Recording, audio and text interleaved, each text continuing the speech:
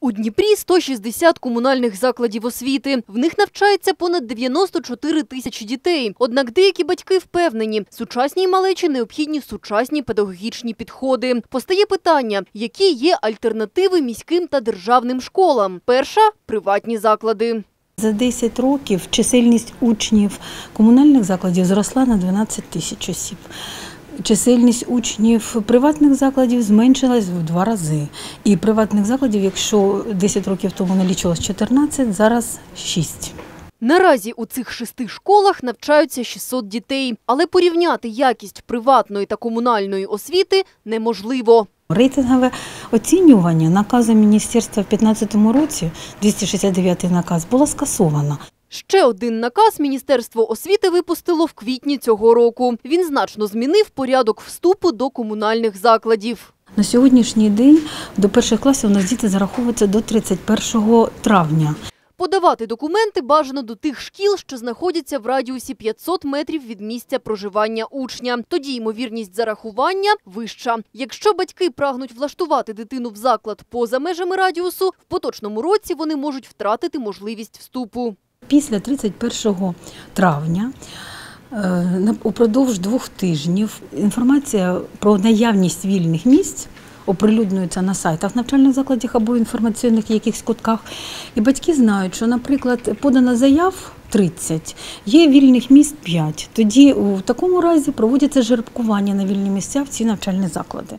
Кого зарахували, стає відомо 15 червня. Ми розпитали управління освіти про інші варіанти навчання. Законом про освіту нам передбачена передбачено дуже велику кількість форм навчання, але на сьогоднішній день е, положення про ті ту і іншу форму навчання прийнято лише про е, індивідуальне навчання, про навчання через екстернат і навчання е, дистанційне. Минулого року екстерном навчалися 242 дитини в 35 середніх освітніх закладах Дніпра. Тим часом дистанційне навчання можливе тільки в 58-й школі. Однак дистанційна освіта не означає, що дитина має гризти граніт науки виключно вдома. 13 років тому Георгій Кандибур започаткував власну школу. Тут навчаються діти, оформлені в інших закладах дистанційно. Ми розробили ем, цілісну систему безперервного супроводження кожної дитини з моменту її зачаття. Георгій Романович упевнений, спілкуватися з педагогами жінка мусить уже з першого місяця вагітності. Тоді майбутня дитина зможе розкрити весь свій потенціал. Один із наступних етапів розвитку – садочок. Там в ігровій формі малечу починають навчати плануванню. Дуже проста річ, яка сьогодні е, ну, повністю відсутня е, щодо формування у дітей. Є таке поняття, як формування внутрішніх годинників. Але найпотужнішу базу тайм-менеджменту забезпечує школа. Щодня діти у нас планують увесь свій день, користуються планом роботи школи, своїм власним планом на тиждень. У них є на тиждень і на місяць плани. Е, е, Графіком е, роботи вчителів. Вони знають, коли, де знаходиться який вчитель для одержання консультації. Знають, коли, як працюють вчителі, учні, інструктори, всі діти інструктори. Кожен інструктор з якогось предмету Кількість годин з того чи іншого предмету затверджена Міністерством освіти. Ще одна особливість програми – різновікові класи. Дитячий колектив поділяють на родини, в яких присутні і старшокласники, і першачки.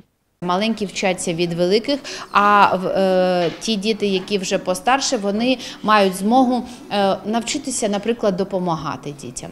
Контрольні роботи та кінцеві екзамени учні школи Кандибура складають в тій школі, де перебувають на дистанційній освіті. Третя альтернатива комунальним закладам – індивідуальне навчання. Зокрема, воно включає в себе домашню освіту. Син Діани півтора роки навчався вдома. Його мама розчарувалась у комунальних закладах Мы большую часть времени и энергии тратили на то, чтобы сделать какие-то вещи, которые мало имеют отношение к учебе. Найбільше часу забирало малювання, праця та фізкультура. Після одного семестру в першому класі батьки хлопчика забрали документи зі школи. Тепер формально він на домашньому навчанні, але насправді відвідує репетиторський центр. Там для нього склали індивідуальну програму, а часи занять обрали батьки. Первое время ходили на 10, чтобы выспаться, а потом пе- перевели все-таки на 9.30. Все, в час он приходил, домашних заданий у него не было практически никогда, и мы просто занимались дальше уже кружками, теннисом, плаванием, вот этим всем. Репетитори навчали за своїми посібниками, тож носити навантажений портфель хлопчику не довелося. Однак із часом Діана зрозуміла, у центрі немає конкуренції, тому ставлення сина до освіти не дуже відповідальне. Тут уже по-другому. То есть он отходил полтора года с- э, в э, экстернат. Он достаточно сильно расслабился, он понял, что школа это что-то прикольное. Знания, они как бы само собой, но у него не было вот этой, как вам сказать, прилежности. Крім того, такі центри не видають державних атестатів про освіту. Зараз синові Діани 9 років. До третього класу він піде вже у комунальну школу. Юлія Бублик, Олександр Височин, Олександр Вернигоров. Новини 9 каналу.